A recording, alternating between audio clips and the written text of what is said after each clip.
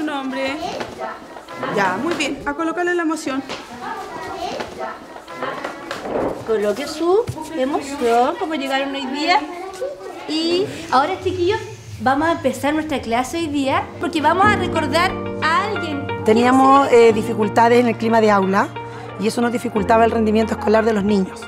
Ya las clases no nos, no nos salían como tan estructuradas. Dijimos, no podemos mejorar el aprendizaje si el clima de aula no nos permite hacer clases, escucharse unos a otros. Desde esa problemática de convivencia escolar, como escuela empezamos a ver qué es lo que necesitaban nuestros estudiantes. Entonces nos sentamos a pensar, bueno, ¿qué es lo que está pasando acá? Ya, y justamente con capacitaciones de neurociencia, con otro tipo de capacitaciones, nos fuimos dando cuenta que ya no era un problema de la entrega de conocimiento, sino que era justamente la disposición de ese niño que llega. Aquí llegan niños a veces con sueño, con pataletas o que no han pasado bien la noche. Entonces eso les produce al niño, digamos, eh, situaciones de, angustia. ¿Cómo vamos a empezar a hacer las clases si los niños no están, eh, no están bien? Una de las dificultades que hemos encontrado, el problema psicoemocional que tenemos en nuestros alumnos y que desde ahí se genera justamente este proyecto de gestión de emociones. Bueno, la idea es que comiencen desde el principio con un saludo. O sea, empezamos a reunir y ver de qué manera podíamos buscar prácticas que pudieran ser justamente articuladas de prekinder hasta octavo básico. Y que ellos mismos buscaran qué tipo de saludos querían ellos. Entonces nos dimos todo un trabajo de hacer esta rutina de llegar, saludarse, digamos, en forma afectiva, de saber que aquí hay alguien que lo está recibiendo, que lo está acogiendo y después de eso que ellos tuvieran tiempo de expresarse. Este, tristeza, rabia, miedo, alegría, calma. Bueno, mira, ¿qué te pasó a ti?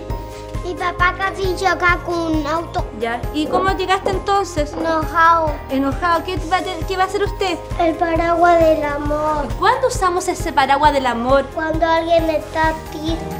Con este abrazo de Renato, ¿cómo estás ahora? Feliz. Ya, ¿ven?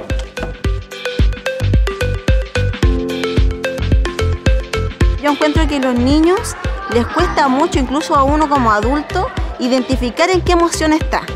Entonces un niño a veces se frustra con facilidad y uno no sabe por qué. Él ahora identificar su emoción es más fácil conversar con él. Antes no, era solamente la frustración, el enojo, pero no, no lograba expresarla. Y hasta el minuto nos está dando resultado porque no es una receta de un día para otro, pero nos ha servido en el tiempo para ir dándonos cuenta que nuestras clases ya van están siendo más mejoradas en cuanto a clima de agua. Con emoción de la rabia, monstruo rojo. ¿Quién puso el monstruo rojo? Agustín, ¿sucedió algo que quieres compartir con nosotros? Ah, yo estoy enojado con un perro porque le agarró la pierna a mi perra. Cálmate, Agustín, porque ya, ya no está ahí en tu casa, ya, no, ya pasó la pelea. ¿Y cómo se podría calmar? ¿Qué tendría que hacer? A ver, ¿cómo? Con la calma. Y a través de la respiración. Muy bien. Hay varios niños que están alegres, otros están calmados. Nosotros trabajamos con las emociones. Eh, como un niño tiene una tristeza o rabia, todos los niños intentan dar una solución para que no lo haga más y, y para estar muy tranquilo y feliz.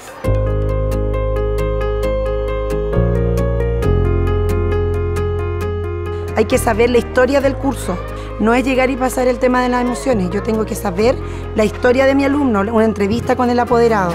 Hay que tener un real compromiso. Todo, digamos, aprendizaje es parte de la emoción. Yo creo que eso ha sido también para nosotros fundamental.